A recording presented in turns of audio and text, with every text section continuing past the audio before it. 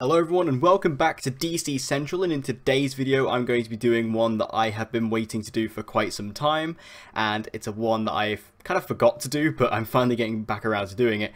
And that is my ranking of all of the Arrow suits that Oliver Queen has worn throughout the entire show ranked from my least favourite to my favourite so let's discuss. So the reason why I've been waiting to do this video is because I made a ranking video for the Flash suit about 9 months ago and I just was meant to do, I was intending on doing a Green Arrow suit ranking video to go alongside that, and I just completely forgot, and then it completely fell by the wayside, and now it's nine months later. Uh, but, you know, I thought, why not? Let's go back to it. You know, it's never exactly too old to do this video. You know, Arrow's over now, and it's, you know, only ever getting older, so there's no real better time to do this video. So I thought, hey, why not, uh, let's not... Uh, why not? Let's do it. Can't speak today. Um, and just to address something as well, I know I feel like I constantly address things at the beginning of these videos. Um, obviously, I haven't been reviewing Batwoman recently, uh, and the reason for that is because I've just been struggling to find a way to actually watch it. Like, just FYI, as of recording this video, I've still only seen the pilot episode, or not the pilot, but the first episode. I've only seen the first episode of Batwoman Season 2, so the episode that I have reviewed is the only one I've seen. So I'm just struggling to actually watch the show right now, like finding a way to watch it because obviously here in the UK it's not aired yet, um, and I don't know when it's going to air or where it's going to air. So for me, like the reviews for the Arrowverse this season might be a bit sporadic and they may not necessarily be consistent, um, and that is why. Um, so I do apologize for that. But I am planning on some other things for this channel and also other videos and other content and stuff like that to make up for that. So I'll, I'll let you all know that as and when it happens. But anyway, with all the PSAs out of the way, let's dive into the ranking of my favorite Arrow suits ranked from my least favorite to my favorite.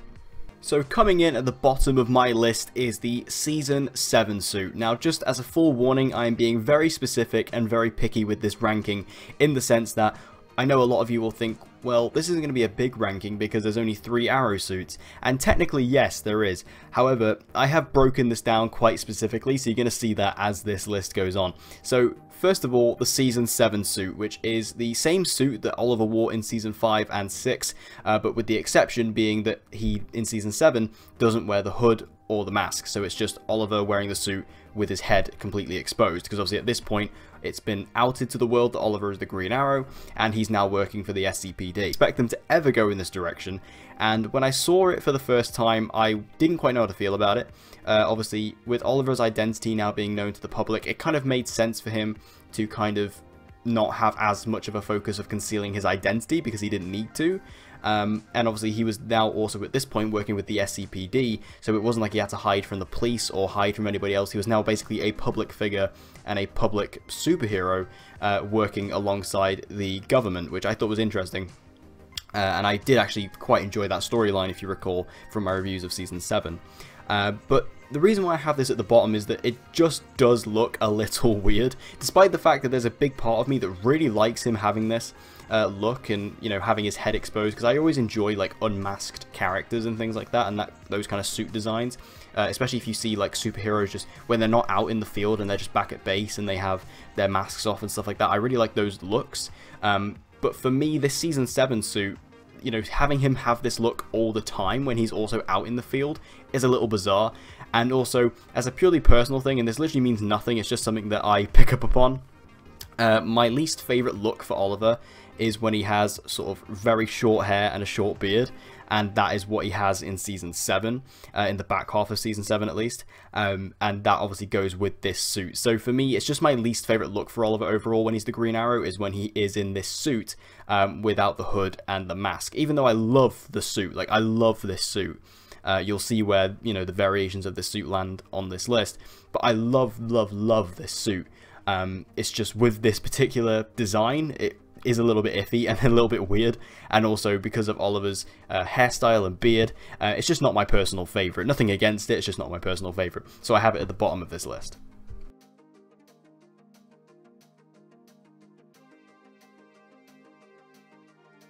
Next up, we have the Season 2 to 3 suit, and this is of course the original suit that he has in Season 1, but now with the addition of the eye mask. Now this is obviously a very iconic suit, this is kind of the suit that really kicked off Oliver as a superhero, um, and less so a vigilante, and this suit is great, you know, I have such a soft spot for this suit, I have such a, you know, nostalgia for this suit, it is the original, it is, uh, you know, what, when I fell in love with Arrow, this was the suit that Oliver had. Um, and it's just beautiful. And obviously with the addition of the eye, uh, eye mask, which came, you know, courtesy of Barry Allen, um, it does very much make it like a superhero-esque suit and kind of took Arrow, it was kind of the first step that the Arrow suit took from being a grounded vigilante superhero suit to an actual comic book superhero suit. It was kind of that first little step before we got to the actual proper superhero suit. So it's a nice little step up. And again, this suit is just so iconic. I love the groundedness of it. I love how it is just like a track, like a tracksuit zip up uh, leather jacket with uh, the leather pants and stuff, and the hood is kind of all rugged. It's kind of like a separate piece. It's not really connected to the suit. It's kind of like just stitched on in a way. So again, it feels grounded. It feels like Oliver actually kind of made it, even though he didn't make it per se. Obviously, it was gifted to him uh, in in Russia, um, but it looks like it was made and stitched together by a real person, not like it was just fabricated as a superhero suit like a lot of the other suits do. That is the original Season 1 suit, and I, again, just have so much love and nostalgia. I can't really say much more for this suit than I didn't say for the original, uh, from what I originally said about the Season 2 and 3 suit. Uh, obviously, this is the exact same suit as that, but it does have, there's no eye mask, it's the eye makeup, like the uh, eye grease, uh, grease paint, and this I like just a little bit more because again, um, you guys know my favorite season of Arrow is season one, and that was where I fell in love with the show. And I, the reason why I love season one so much is, as much as I adore the Arrowverse and I love all of that stuff that Arrow created, I love Arrow when it's grounded, and for me, this suit just is the perfect personification of that.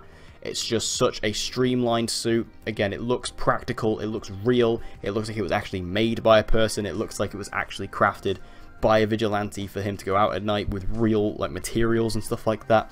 And then the grease paint is just that extra level of grittiness and groundedness that I really like in my superhero media content. And it just really works for me. Um, seeing him kind of put that on, you know, even we, we have many scenes in season one where Oliver takes off his hood and we see him just with the eye makeup and stuff, and it, it looks rugged and it looks awesome.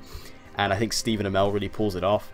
Um, so for me, the Season 1 suit, again, I can't say much more about this suit than I already have uh, in the last spot, but I just love it. And again, I do prefer it with the grease paint just a little bit more. Like, when we got it in Season 6 and they actually brought it back for that one episode, um, it was...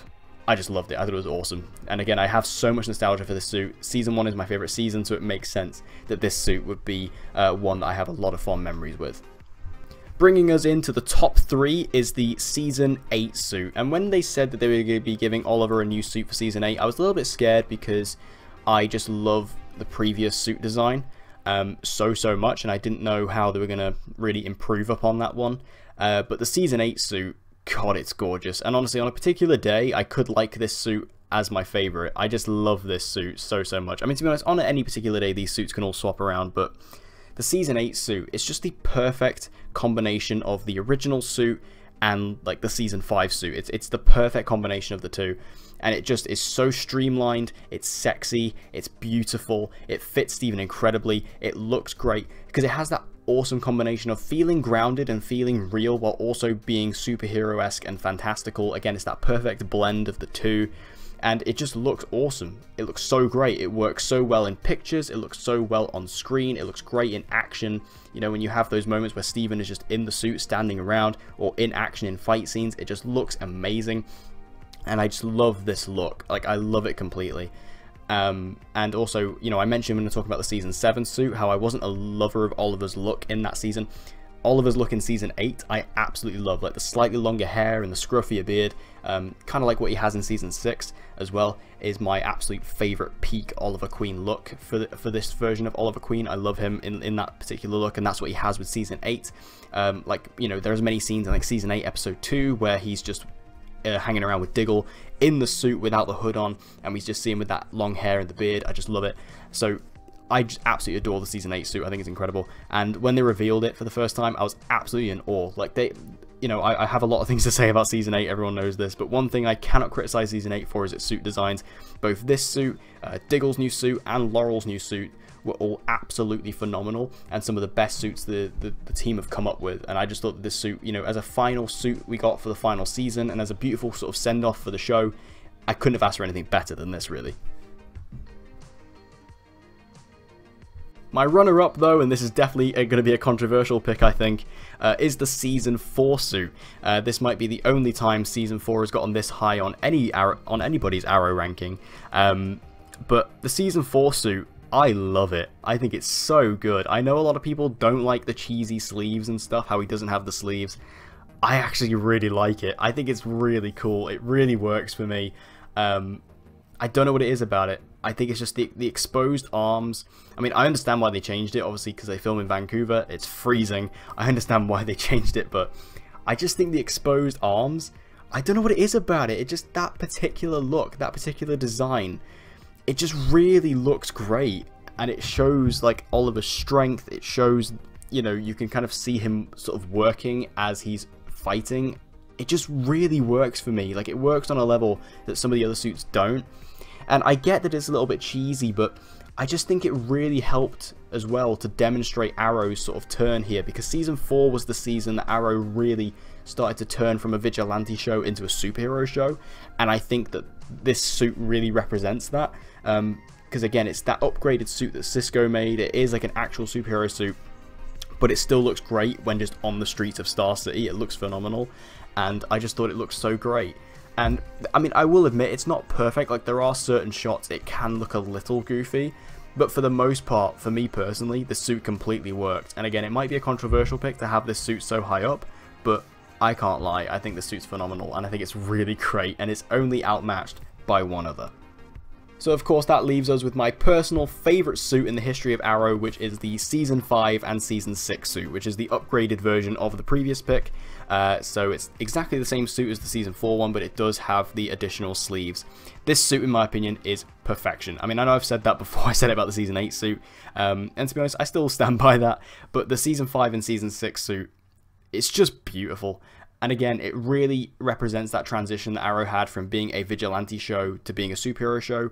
This is Oliver now accepting the fact that he is a superhero now in this superhero world. He's no longer just this vigilante, this crime fighter in Star City. Uh, he's now a part of a large universe and a hero in a larger multiverse.